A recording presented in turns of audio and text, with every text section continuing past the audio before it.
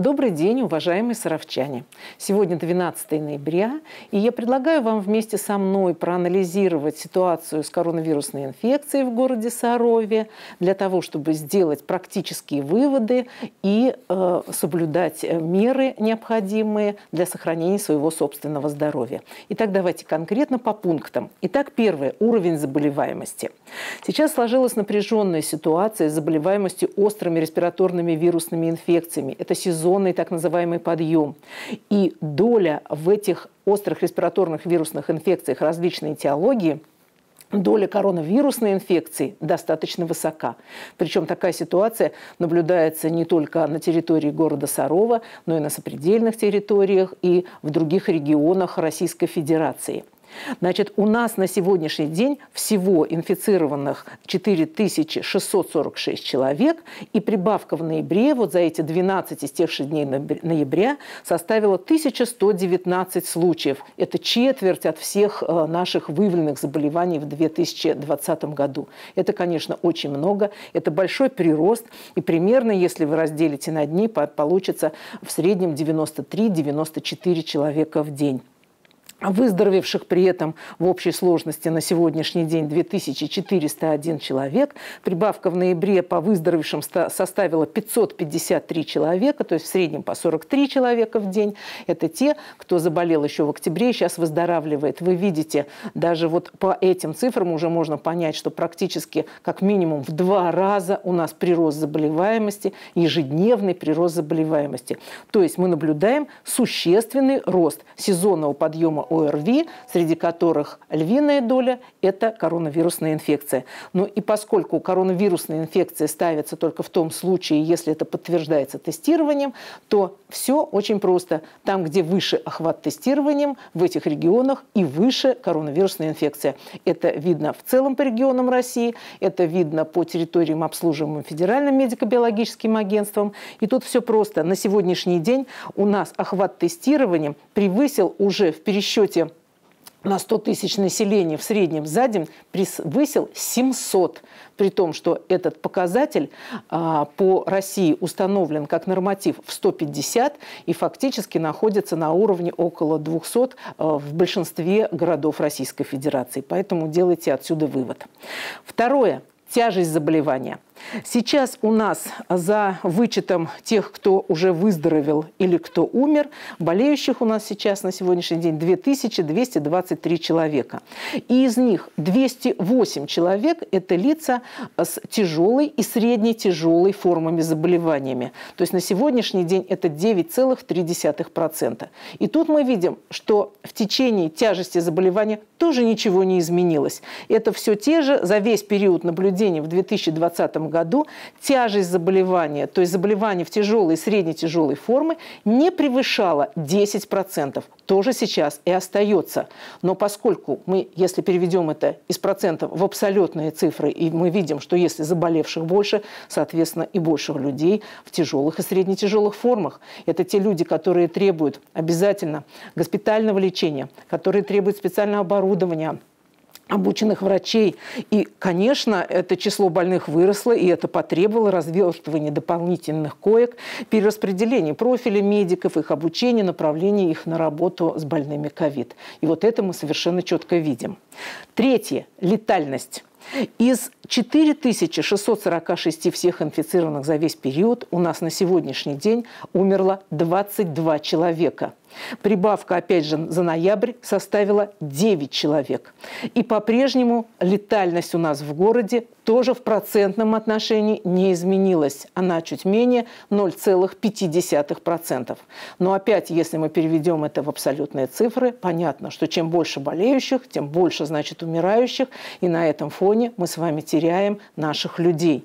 Для сравнения, кстати, показатели летальности. В России в целом они составляют, она составляет 1,7%. В Москве с ее прекрасной медицинской базой, с огромным количеством специализированных коек она составляет полтора процента.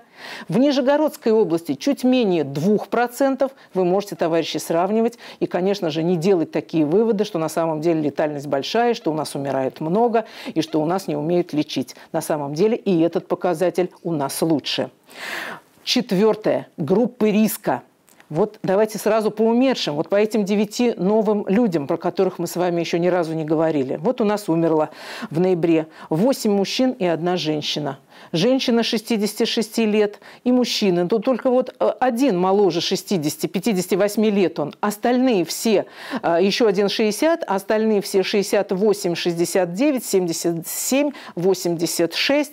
Основная масса – это лица старше 65 лет. Вот вам первый э, очень важный фактор, относящий человека к группе риска. И, конечно, у всех у них, несмотря на возраст, есть, была, вернее, теперь уже люди ушли от нас, была серьезная очень сопутствующая хроническая патология. И я тоже ее назову для того, чтобы те, у кого есть эти заболевания или родственники наши с этими заболеваниями, чтобы к ним относиться более настороженно. На первом месте это по-прежнему сахарный диабет, дальше идут гипертония, кардио- и церебральный атеросклероз, цирроз и другие заболевания печени и злокачественные новообразования. Таким образом, мы видим, что умирают в основном люди 65 а, и старше с хронической серьезной патологией. Пятое.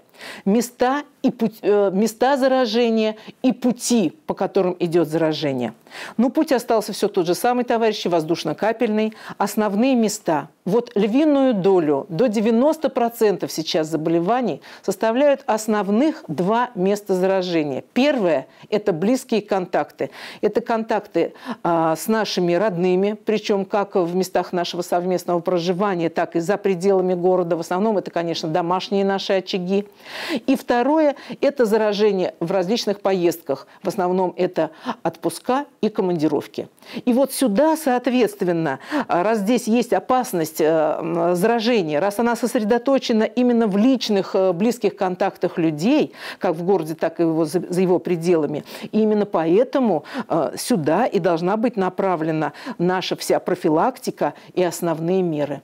Итак, подводим итоги и даем, делаем практические выводы и оговариваем четко пути профилактики. Первое ограничение контактов до разумного минимума как с посторонними людьми, так и со своими близкими. Второе. Резкое сокращение поездок, особенно на отдых, экскурсии, шопинг, но в том числе и встречи с дальними родственниками и со своими знакомыми. Третье при общении с коллегами, знакомыми, вообще другими любыми людьми соблюдать надо социальную дистанцию не меньше полутора метров и использовать средства защиты органов дыхания, в первую очередь защищая свой нос, а не только подбородок и рот. Потому что через нос мы дышим, и через нос поступает к нам основная масса а, инфекционного агента. Четвертое. Четвертое. При появлении больного любой острореспираторной вирусной инфекции в доме. Желательно выделить ему отдельную комнату, отдельные полотенца, отдельную посуду. А, чаще проветривать э, помещения жилые, проводить влажную уборку, мыть руки, а, соблюдать здоровый образ жизни у всех совместно проживающих, где на первое место выходит сон, полноценное питание и двигательная активность обязательно, несмотря на то, что вы находитесь а, в помещении и не можете выйти в спортивный зал.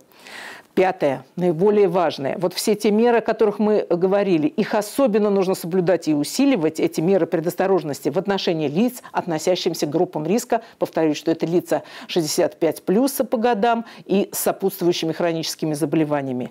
И, наконец, шестое – это при появлении симптомов заболевания острореспираторными вирусными инфекциями нужно не выходить на работу, прекратить всякие контакты с посторонними людьми, а, не паниковать и спокойно лечиться на дому или в стационаре, в зависимости от того, что предложат медицинские работники. Саровчане, дорогие мои земляки, у нас только эти меры помогут нам сейчас в нашей сложившейся ситуации сохранить нам здоровье, жизни и добрые отношения.